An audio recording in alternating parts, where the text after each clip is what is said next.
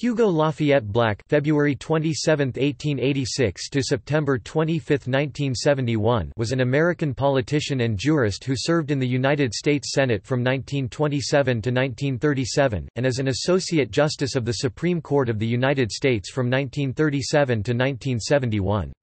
A member of the Democratic Party and a devoted New Dealer, Black endorsed Franklin D. Roosevelt in both the 1932 and 1936 presidential elections.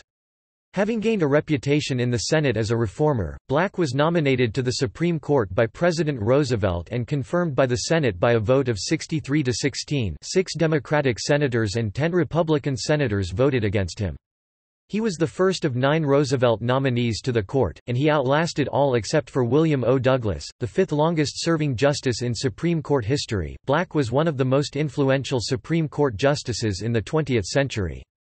He is noted for his advocacy of a textualist reading of the United States Constitution and of the position that the liberties guaranteed in the Bill of Rights were imposed on the states, incorporated, by the Fourteenth Amendment. During his political career, Black was regarded as a staunch supporter of liberal policies and civil liberties, however, Black wrote the majority opinion in Korematsu v. United States 1944, during World War II, which upheld the Japanese-American internment that had taken place.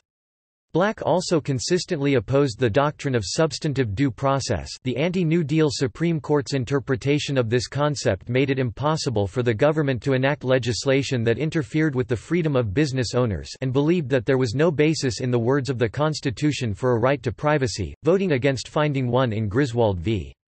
Connecticut. Before he became a senator, Black espoused anti-Catholic views and was a member of the Ku Klux Klan in Alabama, but he resigned in 1925. Years later he said, before becoming a senator I dropped the Klan. I have had nothing to do with it since that time. I abandoned it. I completely discontinued any association with the organization.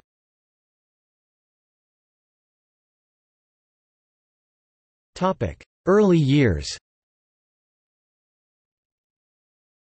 Hugo Lafayette Black was the youngest of the eight children of William Lafayette Black and Martha Black. He was born on February 27, 1886, in a small wooden farmhouse in Ashland, Alabama, a poor, isolated rural Clay County town in the Appalachian foothills. Because his brother Orlando had become a medical doctor, Hugo decided at first to follow in his footsteps. At age 17, he left school and enrolled at Birmingham Medical School. But Orlando suggested that Hugo should enroll at the University of Alabama School of Law. After graduating in June 1906, he moved back to Ashland and established a legal practice. His practice was not successful there, so Black moved to the growing city of Birmingham in 1907, where he specialized in labor law and personal injury cases. Consequent to his defense of an African American who was forced into a form of commercial slavery after incarceration, Black was befriended by A. O. Lane, a judge connected with the case. When Lane was elected to the Birmingham City Commission in 1911, he asked Black to serve as a police court judge, his only judicial experience prior to the Supreme Court. In 1912, Black resigned that seat in order to return to practicing law full-time. He was not done with public service. In 1914, he began a four-year term as the Jefferson County prosecuting attorney. Three years later, during World War I, Black resigned in order to join the United States Army, eventually reaching the rank of captain. He served in the 81st Field Artillery, but was not assigned to Europe. He joined the Birmingham Civitan Club during this time, eventually serving as president of the group. He remained an active member throughout his life, occasionally contributing articles to Civitan publications. On February 23, 1921, he married Josephine Foster (1899–1951), with whom he had three children: Hugo L. Black, II (1922–2013), an attorney; Sterling Foster (1924–1996), and Martha Josephine, born 1933. Josephine died in 1951. In 1957, Black married Elizabeth Say DeMeritt.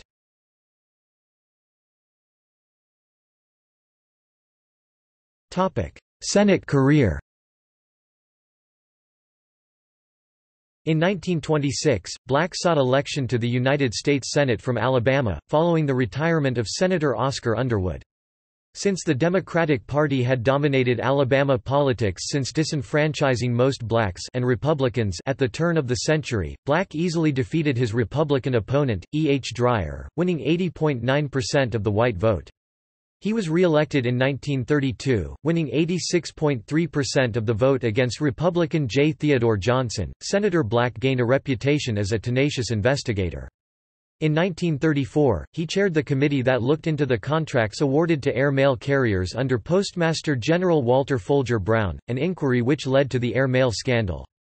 In order to correct what he termed abuses of fraud and collusion resulting from the Air Mail Act of 1930, he introduced the Black-McKellar Bill, later the Air Mail Act of 1934.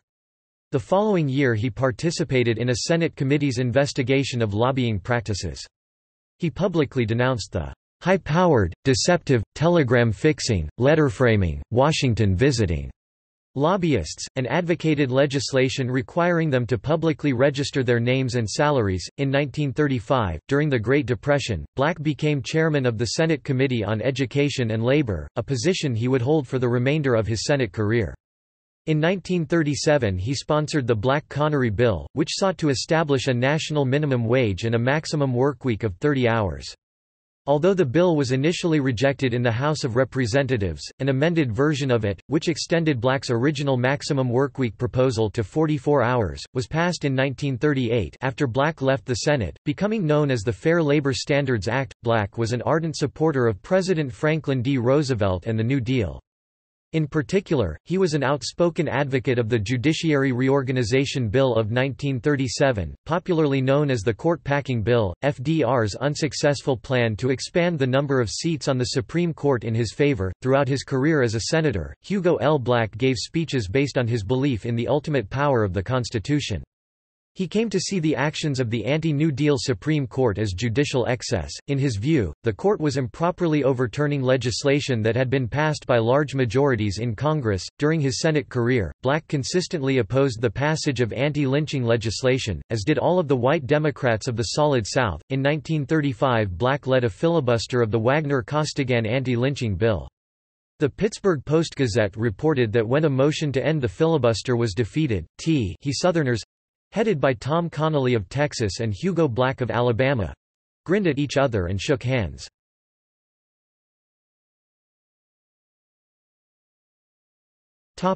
Appointment to the Supreme Court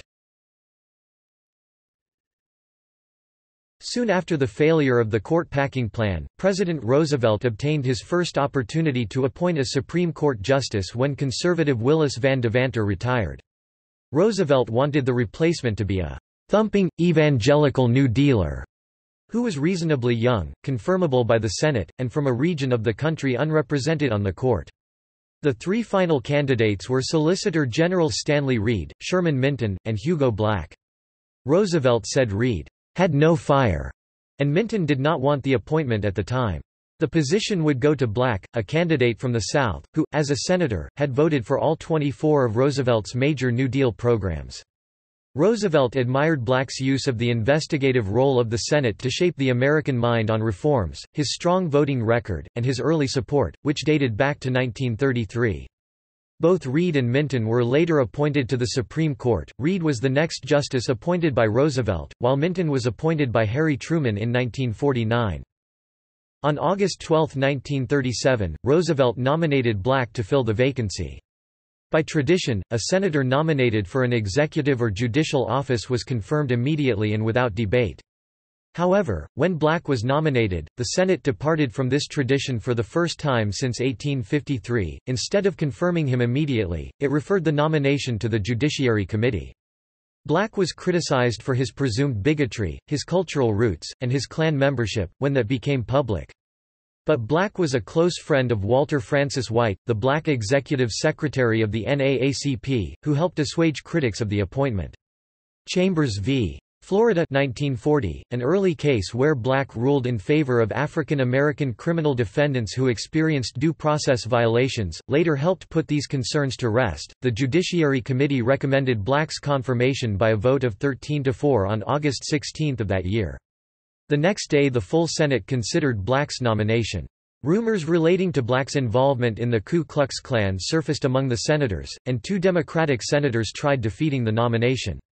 However, no conclusive evidence of blacks' involvement was available at the time, so after six hours of debate, the Senate voted 63 to 16 to confirm black.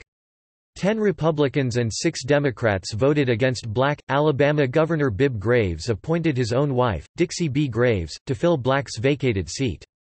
On Black's first day on the bench, three lawyers contested Black's appointment on the basis of the ineligibility clause. The court dismissed this concern in the same year in ex parte Levitt.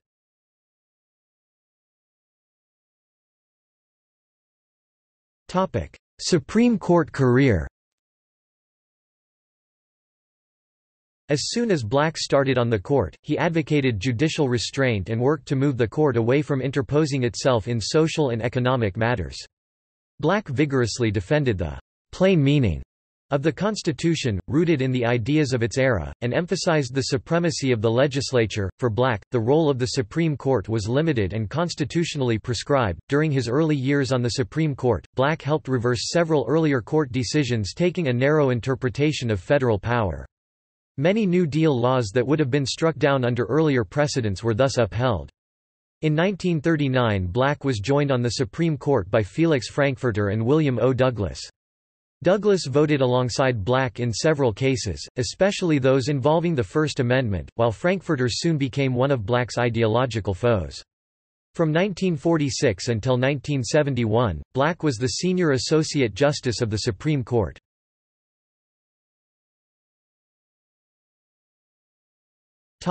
Relationship with other justices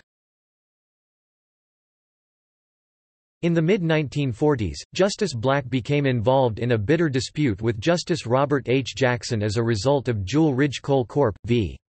Local 6167, United Mine Workers 1945. In this case the court ruled 5 to 4 in favor of the UMW, Black voted with the majority, while Jackson dissented. However, the coal company requested the court rehear the case on the grounds that Justice Black should have recused himself, as the mine workers were represented by Black's law partner of 20 years earlier. Under the Supreme Court's rules, each justice was entitled to determine the propriety of disqualifying himself. Jackson agreed that the petition for rehearing should be denied, but refused to give approval to Black's participation in the case. Ultimately, when the court unanimously denied the petition for rehearing, Justice Jackson released a short statement, in which Justice Frankfurter joined. The concurrence indicated that Jackson voted to deny the petition not because he approved of blacks' participation in the case, but on the limited grounds that each justice was entitled to determine for himself the propriety of recusal. At first the case attracted little public comment. However, after Chief Justice Harlan Stone died in 1946, rumors that President Harry S. Truman would appoint Jackson as Stone's successor led several newspapers to investigate and report the Jewel Ridge controversy. Black and Douglas allegedly leaked to newspapers that they would resign if Jackson were appointed chief. Truman ultimately chose Fred M. Vinson for the position. In 1948, Justice Black approved an order solicited by Abe Fortas that barred a federal district court in Texas from further investigation of significant voter fraud and irregularities in the 1948 Democratic primary election for United States Senator from Texas. The order effectively confirmed future President Lyndon Johnson's apparent victory over former Texas Governor Coke Stevenson. In the 1960s, Black clashed with Fortas, who by that time had been appointed as an Associate Justice. In 1968, a Warren clerk called their feud one of the most basic animosities of the court.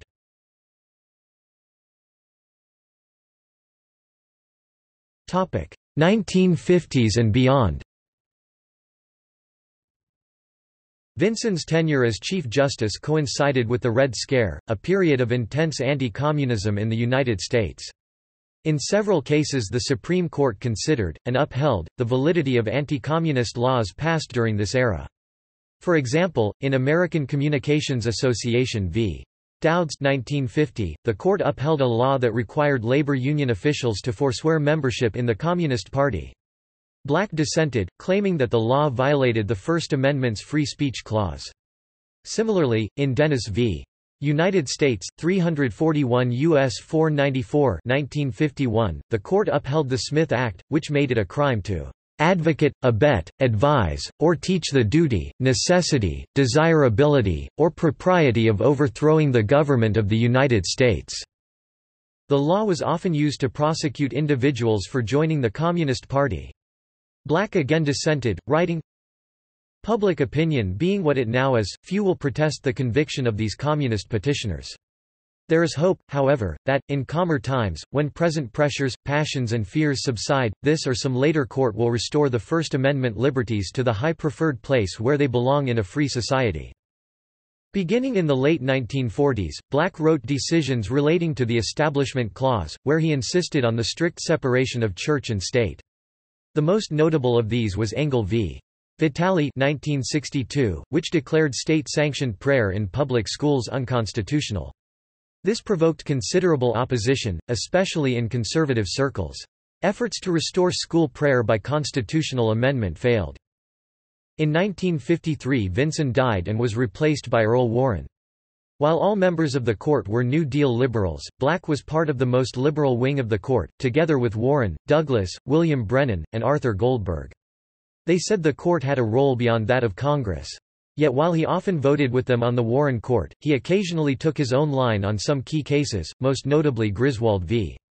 Connecticut 1965, which established that the Constitution protected a right to privacy. In not finding such a right implicit in the Constitution, Black wrote in his dissent that, "...many good and able men have eloquently spoken and written about the duty of this court to keep the Constitution in tune with the times. For myself, I must with all deference reject that philosophy." Black's most prominent ideological opponent on the Warren Court was John Marshall Harlan II, who replaced Justice Jackson in 1955. They disagreed on several issues, including the applicability of the Bill of Rights to the states, the scope of the Due Process Clause, and the one man, one vote principle.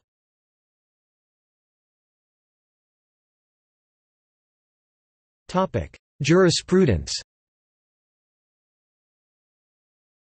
Black's jurisprudence is among the most distinctive of any members of the Supreme Court in history and has been influential on justices as diverse as Earl Warren, William Rehnquist, and Antonin Scalia. Black's jurisprudence had three essential components history, literalism, and absolutism.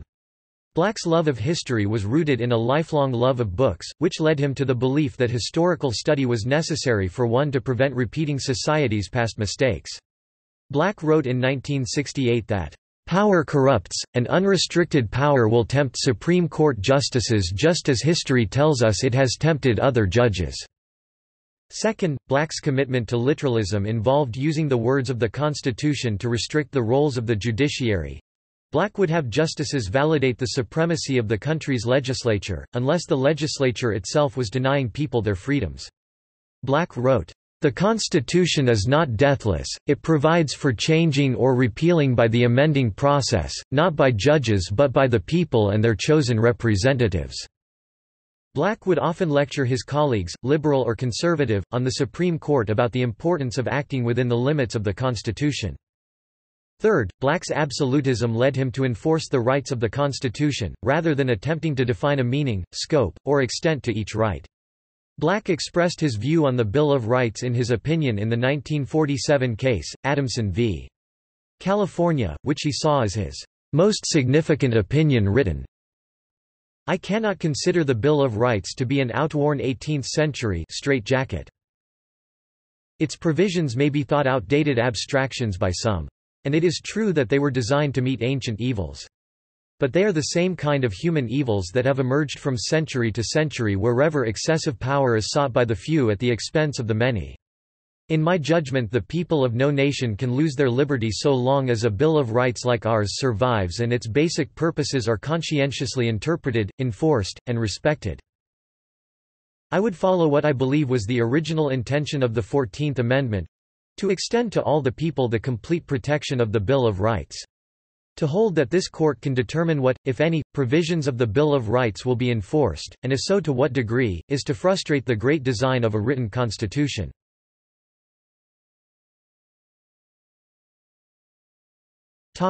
Judicial restraint Black intensely believed in judicial restraint and reserved the power of making laws to the legislatures, often scolding his more liberal colleagues for what he saw as judicially created legislation. Conservative Justice John M. Harlan II would say of Black, "...no justice has worn his judicial robes with a keener sense of the limitations that go with them." Conservative Judge Robert Bork wrote, Justice Black came to have significantly more respect for the limits of the Constitution than Justice Douglas and the other leading members of the Warren majorities ever showed." One scholar wrote, no justice of the court conscientiously and persistently endeavored, as much as Justice Black did, to establish consistent standards of objectivity for adjudicating constitutional questions. Black advocated a narrow role of interpretation for justices, opposing a view of justices as social engineers or rewriters of the Constitution. Black opposed enlarging constitutional liberties beyond their literal or historic plain meaning, as he saw his more liberal colleagues do. However, he also condemned the actions of those to his right, such as the conservative Four Horsemen of the 1920s and 1930s, who struck down much of the New Deal's legislation. Black forged the 5–4 majority in the 1967 decision Fortson v. Morris, which cleared the path for the Georgia state legislature to choose the governor in the deadlocked 1966 race between Democrat Lester Maddox and Republican Howard Callaway. Whereas Black voted with the majority under strict construction to uphold the state constitutional provision, his colleagues Douglas joined by Warren, Brennan, and Fortas and Fortas joined by Warren and Douglas dissented. According to Douglas, Georgia tradition would guarantee a Maddox victory though he had trailed Callaway by some 3,000 votes in the general election returns. Douglas also saw the issue as a continuation of the earlier decision Gray v. Sanders, which had struck down Georgia's county unit system, a kind of electoral college formerly used to choose the governor. Black argued that the U.S. Constitution does not dictate how a state must choose its governor. Our business is not to write laws to fit the day. Our task is to interpret the Constitution." Black explained. Topic: Textualism and originalism Black was noted for his advocacy of a textualist approach to constitutional interpretation.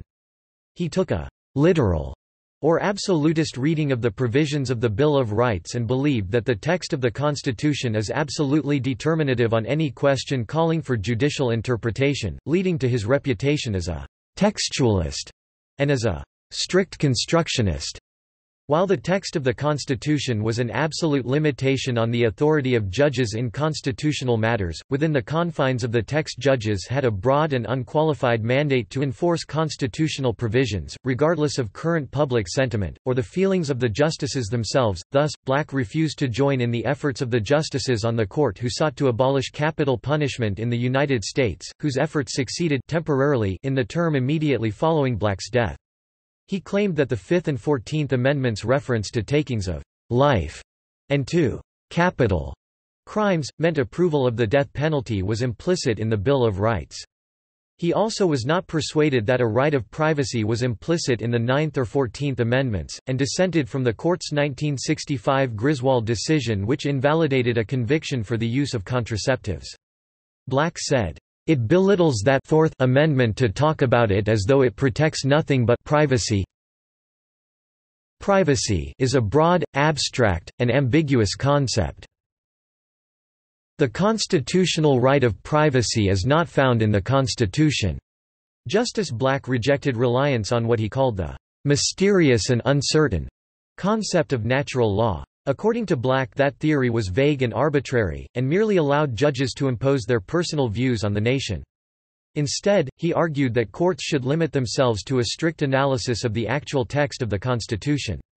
Black was, in addition, an opponent of the «living constitution» theory. In his dissent to Griswold 1965, he wrote, I realize that many good and able men have eloquently spoken and written, sometimes in rhapsodical strains, about the duty of this court to keep the Constitution in tune with the times. The idea is that the Constitution must be changed from time to time, and that this court is charged with a duty to make those changes. For myself, I must, with all deference, reject that philosophy. The Constitution makers knew the need for change, and provided for it. Amendments suggested by the people's elected representatives can be submitted to the people or their selected agents for ratification. That method of change was good for our fathers, and, being somewhat old-fashioned, I must add it is good enough for me.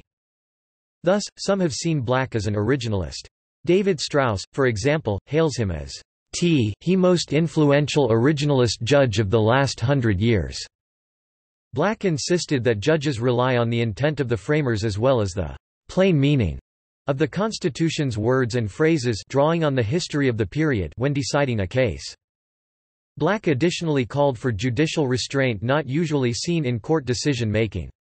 The justices of the court would validate the supremacy of the legislature in public policy making, unless the legislature was denying people constitutional freedoms. Black stated that the legislature was fully clothed with the power to govern and to maintain order.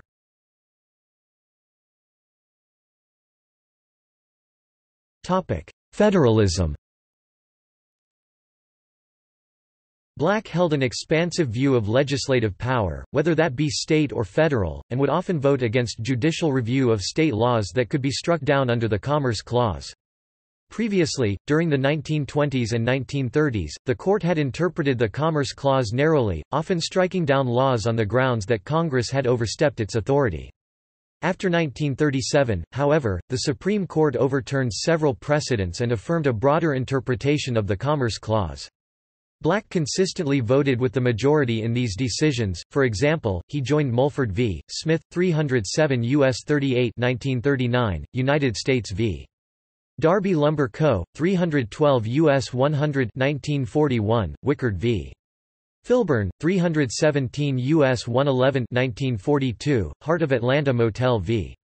United States, 379 U.S. 241 1964, and Katzenbach v. McClung, 379 U.S. 294 1964. In several other federalism cases, however, Black ruled against the federal government. For instance, he partially dissented from South Carolina v.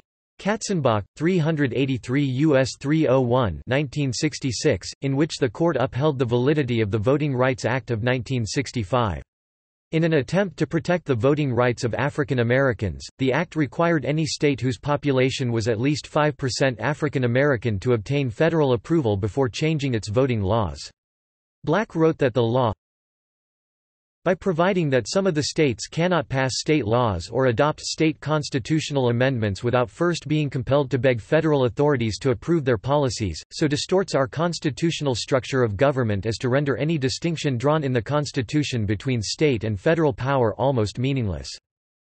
Similarly, in Oregon v. Mitchell 1970, he delivered the opinion of the court holding that the federal government was not entitled to set the voting age for state elections. In the law of federal jurisdiction, Black made a large contribution by authoring the majority opinion in Younger v. Harris. This case, decided during Black's last year on the court, has given rise to what is now known as Younger abstention. According to this doctrine, an important principle of federalism called comity, that is, respect by federal courts for state courts, dictates that federal courts abstain from intervening in ongoing state proceedings, absent the most compelling circumstances. The case is also famous for its discussion of what Black calls our federalism, a discussion in which Black expatiates on proper respect for state functions, a recognition of the fact that the entire country is made up of a union of separate state governments, and a continuance of the belief that the national government will fare best if the states and their institutions are left free to perform their separate functions in their separate ways. Black was an early supporter of the one man, one vote Standard for apportionment set by Baker v. Carr. He had previously dissented in support of this view in Baker's predecessor case, Colegrove v. Green.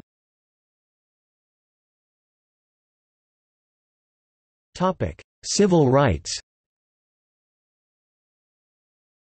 As a senator, Black filibustered an anti-lynching bill.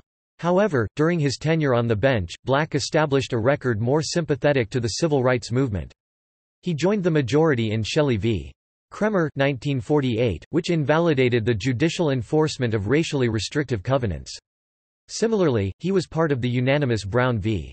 Board of Education 1954 court that struck down racial segregation in public schools. Black remained determined to desegregate the South and would call for the Supreme Court to adopt a position of immediate desegregation in 1969's Alexander v. Holmes County Board of Education. Black wrote the court's majority opinion in Korematsu v. United States, which validated Roosevelt's decision to intern Japanese Americans on the West Coast during World War II. The decision is an example of Black's belief in the limited role of the judiciary. He validated the legislative and executive actions that led to internment, saying, It is unnecessary for us to appraise the possible reasons which might have prompted the order to be used in the form it was. Black also tended to favor law and order over civil rights activism. This led him to read the Civil Rights Act narrowly. For example, he dissented in a case reversing convictions of sit-in protesters, arguing to limit the scope of the Civil Rights Act. In 1968 he said, "...unfortunately there are some who think that Negroes should have special privileges under the law." Black felt that actions like protesting, singing, or marching for good causes one day could lead to supporting evil causes later on. His sister-in-law explained that Black was mortally afraid of protesters. Black opposed the actions of some civil rights and Vietnam War protesters and believed that legislatures first, and courts second, should be responsible for alleviating social wrongs. Black once said he was vigorously opposed to efforts to extend the First Amendment's freedom of speech beyond speech. To conduct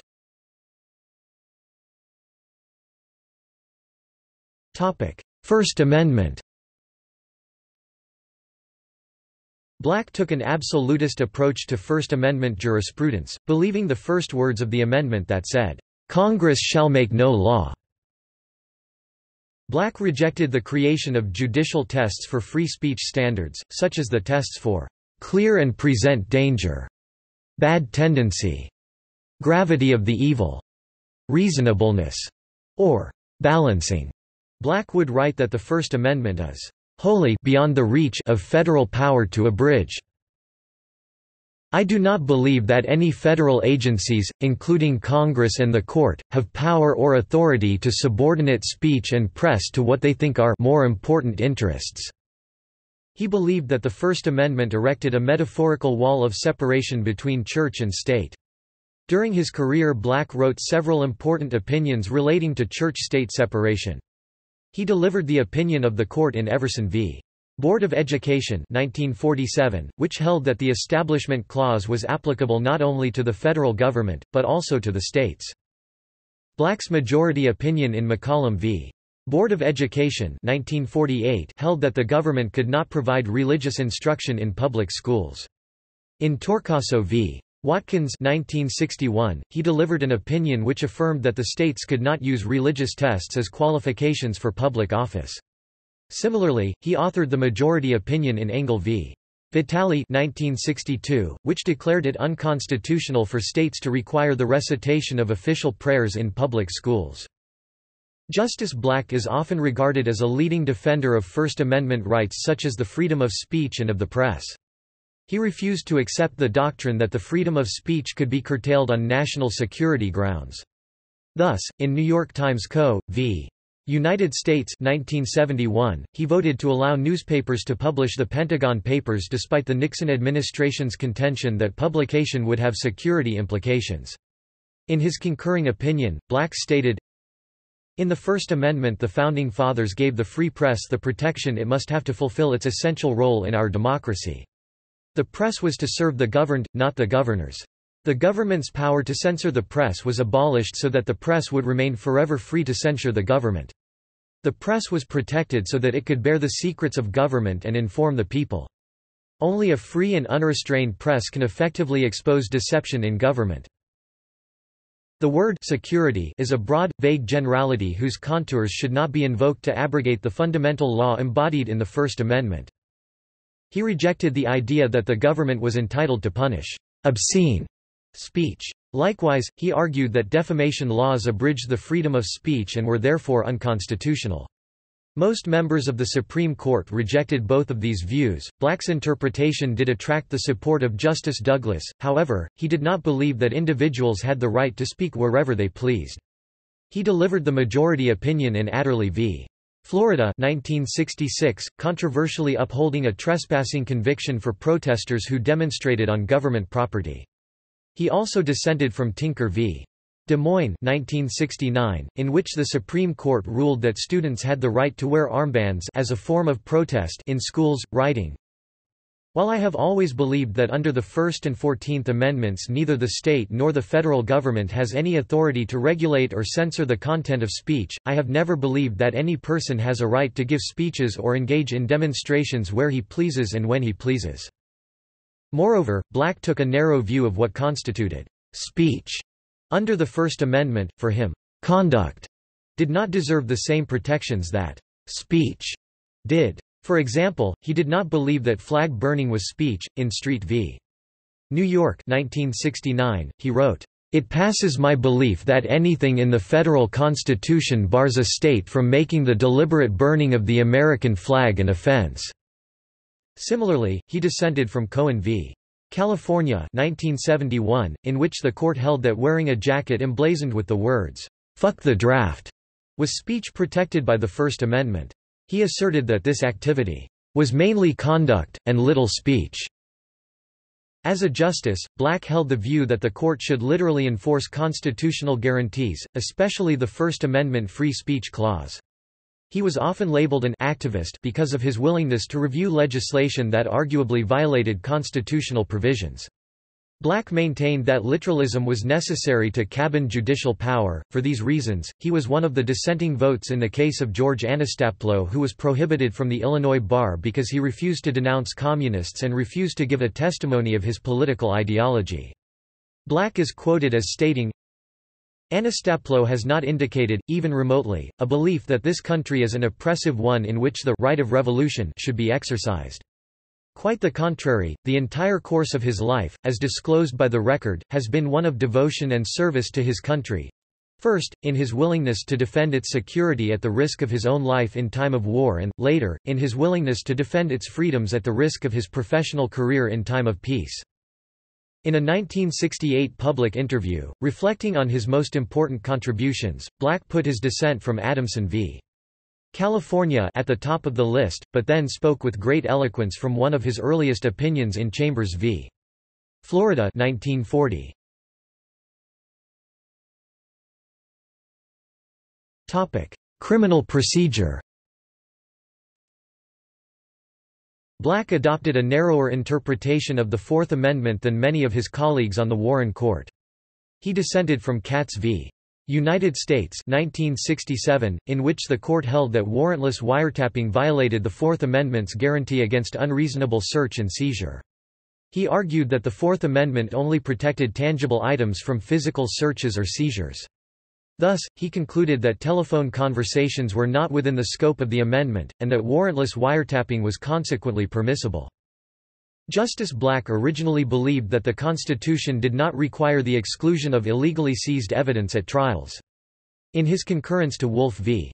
Colorado 1949, he claimed that the exclusionary rule was not a command of the Fourth Amendment but a judicially created rule of evidence. But he later changed his mind and joined the majority in Mapp v. Ohio 1961, which applied it to state as well as federal criminal investigations. In his concurrence, he indicated that his support was based on the Fifth Amendment's guarantee of the right against self-incrimination, not on the Fourth Amendment's guarantee against unreasonable searches and seizures. He wrote, I am still not persuaded that the Fourth Amendment, standing alone, would be enough to bar the introduction into evidence seized in violation of its commands. In other instances Black took a fairly broad view of the rights of criminal defendants. He joined the Supreme Court's landmark decision in Miranda v. Arizona 1966, which required law enforcement officers to warn suspects of their rights prior to interrogations, and consistently voted to apply the guarantees of the Fourth, Fifth, Sixth, and Eighth Amendments at the state level. Black was the author of the landmark decision in Gideon v. Wainwright 1963, which ruled that the states must provide an attorney to an indigent criminal defendant who cannot afford one. Before Gideon, the court had held that such a requirement applied only to the federal government.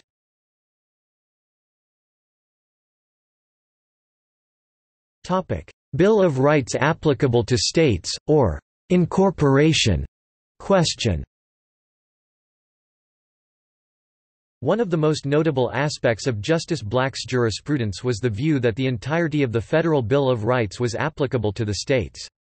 Originally, the Bill of Rights was binding only upon the federal government, as the Supreme Court ruled in Barron v. Baltimore 1833.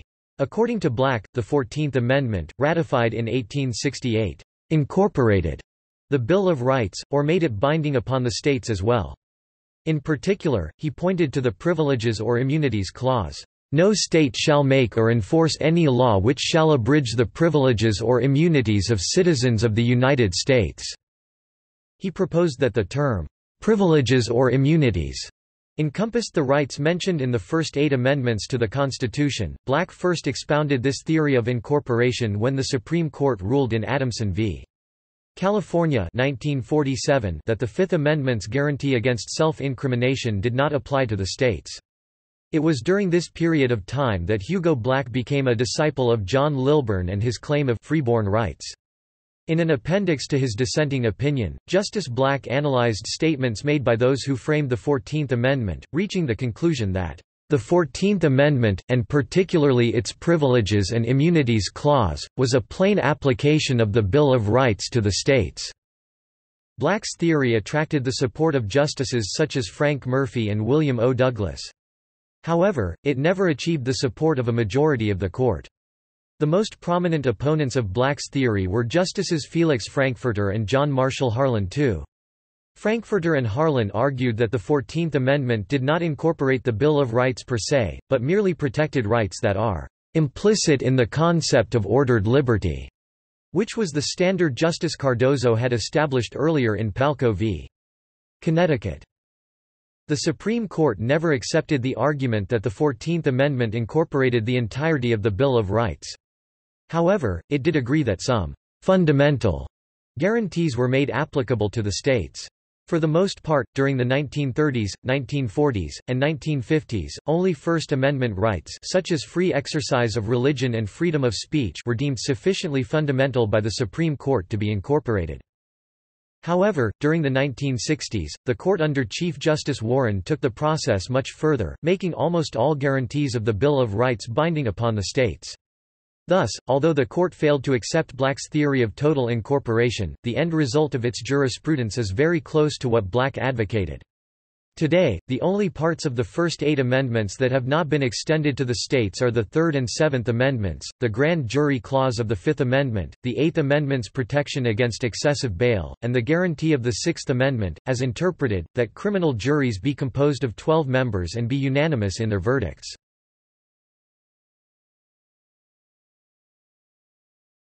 Topic: Due Process Clause.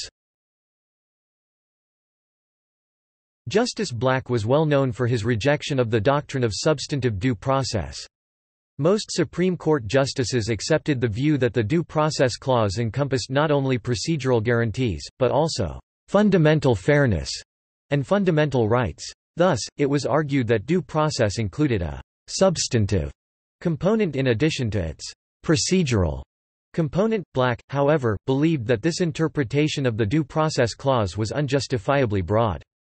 In his dissent to Griswold, he charged that the doctrine of substantive due process takes away from Congress and states the power to make laws based on their own judgment of fairness and wisdom, and transfers that power to this court for ultimate determination."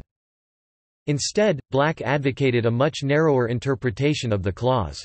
In his dissent to In re Winship, he analyzed the history of the term, due process of law, and concluded, for me, the only correct meaning of that phrase is that our government must proceed according to the law of the land that is, according to written constitutional and statutory provisions as interpreted by court decisions. Black's view on due process drew from his reading of British history. To him, due process meant all persons were to be tried in accordance with the Bill of Rights procedural guarantees and in accordance with constitutionally pursuant laws. Black advocated equal treatment by the government for all persons, regardless of wealth, age, or race. Black's view of due process was restrictive in the sense that it was premised on equal procedures, it did not extend to substantive due process. This was in accordance with Black's literalist views. Black did not tie procedural due process exclusively to the Bill of Rights, but he did tie it exclusively to the Bill of Rights combined with other explicit provisions of the Constitution. None of Black's colleagues shared his interpretation of the Due Process Clause. His chief rival on the issue and on many other issues was Felix Frankfurter, who advocated a substantive view of due process based on natural law. If a challenged action did not shock the conscience of the jurist, or violate British concepts of fairness, Frankfurter would find no violation of due process of law. John M. Harlan too largely agreed with Frankfurter, and was highly critical of Black's view, indicating his continued bafflement at Black's insistence that due process does not embody a concept of fundamental fairness.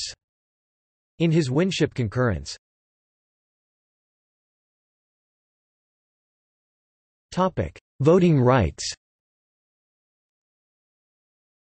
Black was one of the Supreme Court's foremost defenders of the one man, one vote principle. He delivered the opinion of the court in Wesberry v. Sanders 1964, holding that the Constitution required congressional districts in any state to be approximately equal in population. He concluded that the Constitution's command that representatives be chosen by the people of the several states means that as nearly as is practicable one man's vote in a congressional election is to be worth as much as another's." Likewise, he voted in favor of Reynolds v. Sims 1964, which extended the same requirement to state legislative districts on the basis of the Equal Protection Clause. At the same time, Black did not believe that the Equal Protection Clause made poll taxes unconstitutional. During his first term on the court, he participated in a unanimous decision to uphold Georgia's poll tax in the case of Breedlove v. Suttles. Then, 29 years later, he dissented from the court's ruling in Harper v. Virginia Board of Elections 1966, invalidating the use of the poll tax as a qualification to vote, in which Breedlove was overturned.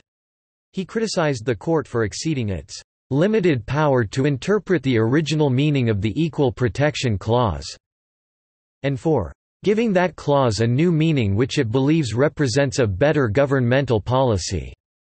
He also dissented from Kramer v. Union Free School District No. 15 1969, in which a majority struck down a statute that prohibited registered voters from participating in certain school district elections unless they owned or rented real property in their local school district, or were parents or guardians of children attending the public schools in the district.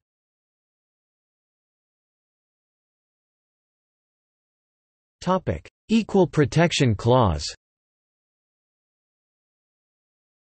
By the late 1940s, Black believed that the Fourteenth Amendment's Equal Protection Clause was a constitutional prohibition against any state governmental actions that discriminated on the basis of race in an invidious or capricious manner. Black saw only race and the characteristics of alienage as the suspect categories that were addressed and protected by equal protection. Black believed that the Equal Protection Clause could not be introduced as a means to invalidate state action, unless that action involved racial discrimination, discrimination against aliens, or the one-man, one-vote principle.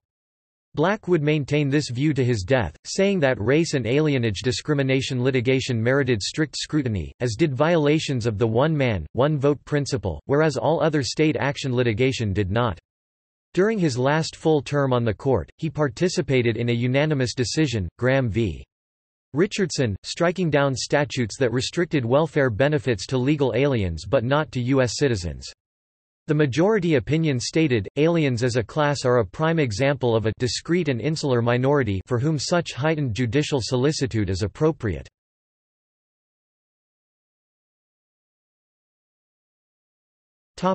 Retirement and death Justice Black admitted himself to the National Naval Medical Center in Bethesda, Maryland, in August 1971, and subsequently retired from the court on September 17. He suffered a stroke two days later and died on September 25. Services were held at the National Cathedral, and over 1,000 persons attended. Pursuant to Justice Black's wishes, the coffin was simple and cheap and was displayed at the service to show that the costs of burial are not reflective of the worth of the human whose remains were present. His remains were interred at the Arlington National Cemetery. He is one of 12 Supreme Court justices buried at Arlington. The others are Harry Andrew Blackmun, William J. Brennan, Arthur Joseph Goldberg, Thurgood Marshall, Potter Stewart, William O. Douglas, Oliver Wendell Holmes, Jr., Chief Justice William Howard Taft, Chief Justice Earl Warren, Chief Justice Warren Burger, and Chief Justice William Rehnquist. Justice Black is buried to the right of the main cemetery entrance, and up a hill, 200 yards behind the Taft Monument. Black's headstone is identical in size and shape to the tens of thousands of military headstones in Arlington. It says simply, Hugo Lafayette Black, Captain, U.S. Army. President Richard Nixon first considered nominating Herschel Friday to fill the vacant seat, but changed his mind after the American Bar Association found Friday unqualified. Nixon then nominated Lewis Powell, who was confirmed by the Senate.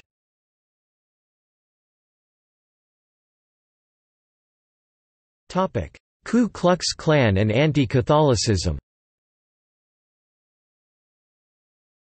Shortly after Black's appointment to the Supreme Court, Ray Sprigle of the Pittsburgh Post-Gazette wrote a series of articles revealing Black's involvement in the Klan, for which he won a Pulitzer Prize. The first article in the series was published on September 13, 1937, barely a month after Black's appointment and shortly after his confirmation. Titled, Justice Black revealed as Ku Klux Klansman.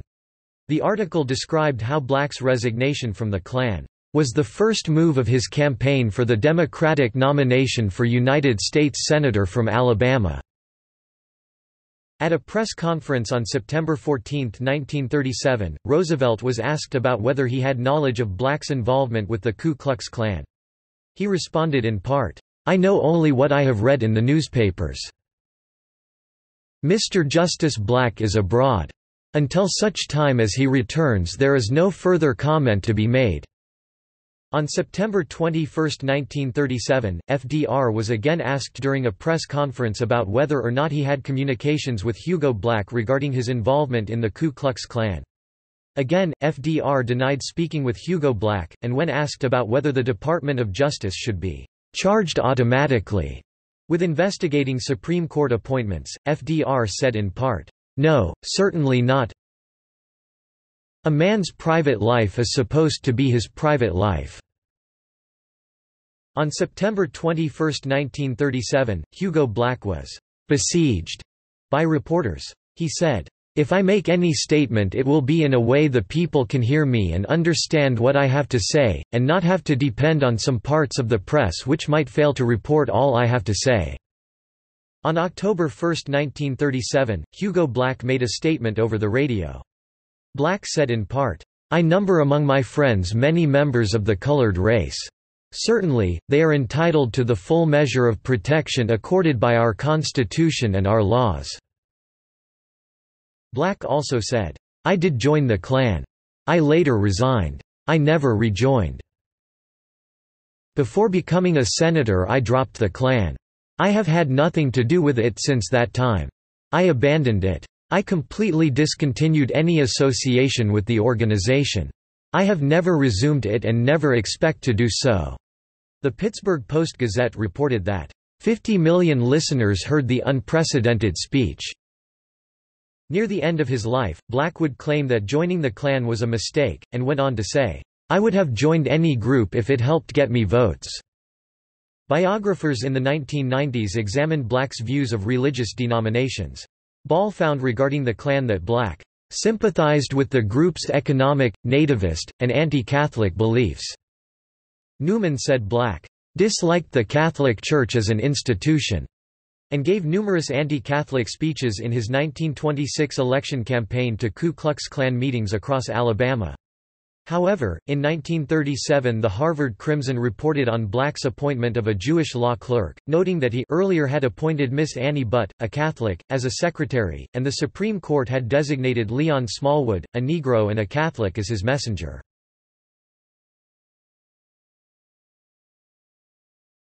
Thurgood Marshall and Brown v. Board of Education Black was one of the nine justices of the Supreme Court who in 1955 ruled unanimously in Brown v. Board of Education that segregation in public schools is unconstitutional. The plaintiffs were represented by Thurgood Marshall.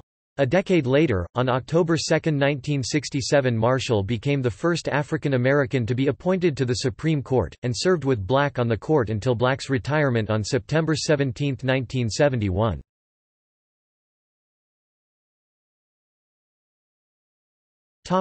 United States v. Price In United States v. Price 1965, 18 Ku Klux Klan members were charged with murder and conspiracy for the deaths of James Chaney, Andrew Goodman and Michael Schwerner, but the charges were dismissed by the trial court. A unanimous Supreme Court, which included Black, reversed the dismissal and ordered the case to proceed to trial. Seven of these men, including fellow Klansmen Samuel Bowers, Cecil Price and Alton Wayne Roberts were found guilty of the crime, eight of them, including Lawrence A. Rainey, were found not guilty, and three of them, including Edgar Ray Killen, had their cases end in a mistrial.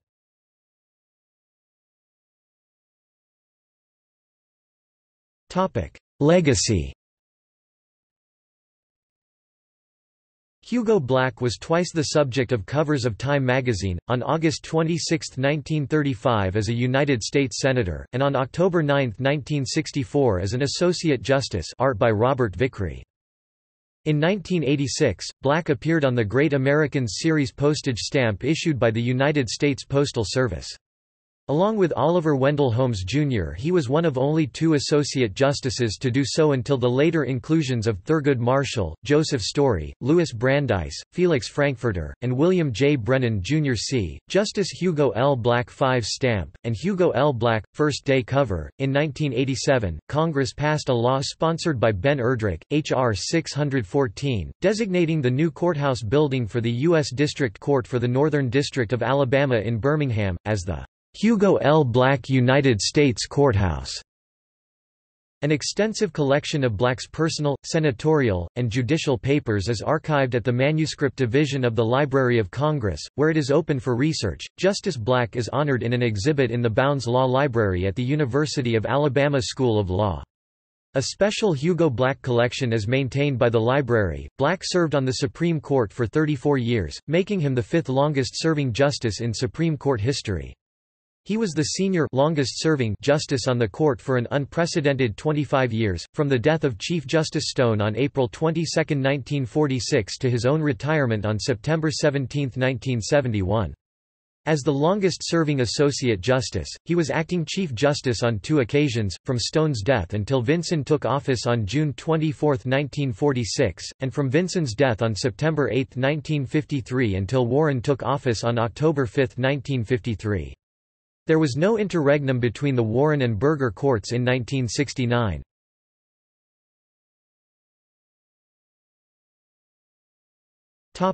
See also Hugo Black House List of Justices of the Supreme Court of the United States List of law clerks of the Supreme Court of the United States List of U.S. Supreme Court Justices by time in office United States Supreme Court cases during the Burger Court United States Supreme Court cases during the Hughes Court United States Supreme Court cases during the Stone Court United States Supreme Court cases during the Vinson Court United States Supreme Court cases during the Warren Court